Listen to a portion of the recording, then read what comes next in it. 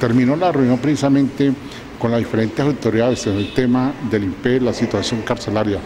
¿Qué balance puede hacer, rector? Sí, yo creo que eh, en principio tenemos un balance muy positivo de la reunión del día de hoy. Eh, ya habíamos hecho eh, algunas reuniones intentando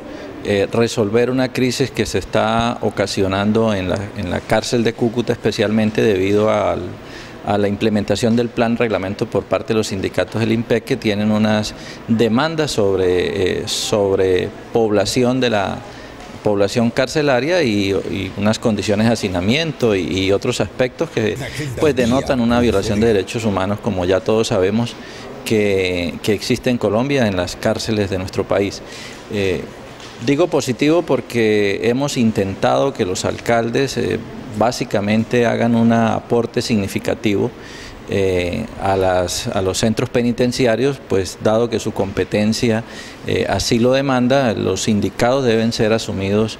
eh, o apoyados por los municipios y los entes territoriales y bueno, hoy hemos hecho una revisión nuevamente de estos compromisos, la idea es que los alcaldes se sigan comprometiendo con aportar unos recursos importantes, la gobernación ha liderado este proceso de apoyo al tema penitenciario y pues eh, nuestro, nuestra intención y propósito es que los alcaldes también lo hagan. En segundo lugar, pues con la dirección del IMPEC y el sindicato se logró un primer acuerdo para eh, facilitar el ingreso de todas aquellas personas que eh, están en las estaciones de policía represadas por el cierre de la cárcel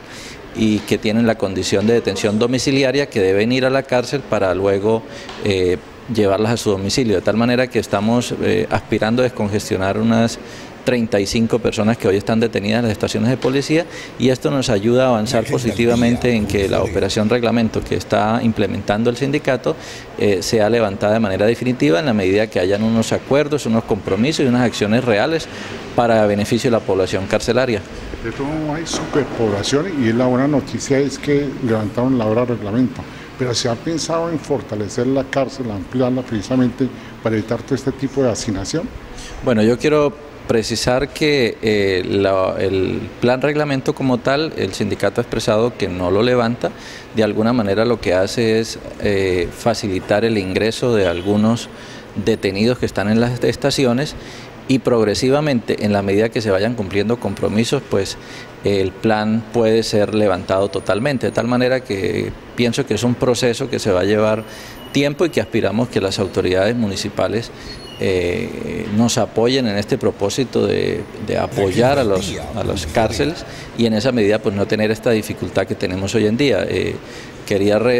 resaltar que pues eh, las condiciones de las cárceles en Colombia y Cúcuta no es la excepción, siempre ha habido dificultades por, la, por el hacinamiento y la sobrepoblación.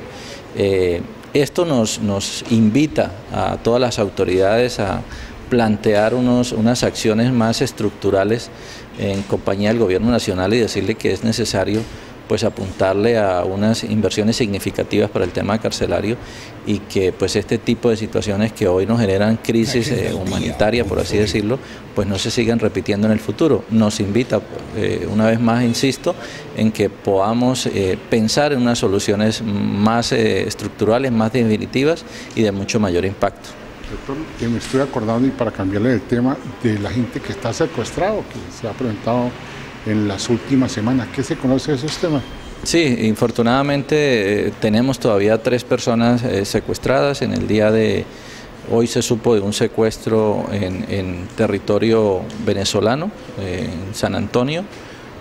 unos metros más allá de los puntos de, de migración